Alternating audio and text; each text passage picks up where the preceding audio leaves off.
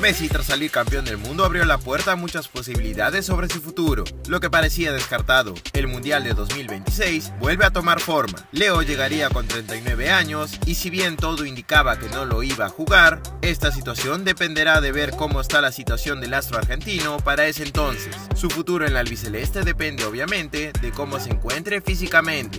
El presidente del PSG, Al-Khelaifi, estuvo tras la final con el futbolista rosarino y le volvió a reiterar su confianza, algo que había hecho durante todo el mundial. Y es que Messi no ha acabado la temporada con este mundial. Su siguiente objetivo es la Champions League. Quiere ganarla sí o sí con el conjunto francés. Y tras la decepción de la temporada pasada, quiere volver con fuerza a esta campaña. El cierre de la campaña en Europa para Leo se daría con irse a la MLS de los Estados Unidos, que aparece como la alternativa más viable para su futuro. Pero en las últimas horas surgió otra posibilidad, y es que una eventual llegada a Newells, club donde dio sus primeros pasos, pero que nunca debutó profesionalmente, se ha vuelto tendencia. Por lo pronto, el astro argentino deberá cumplir su contrato con el PSG y seguir aspirando a conseguir nuevos títulos para alargar su carrera como el mejor futbolista de todos los tiempos.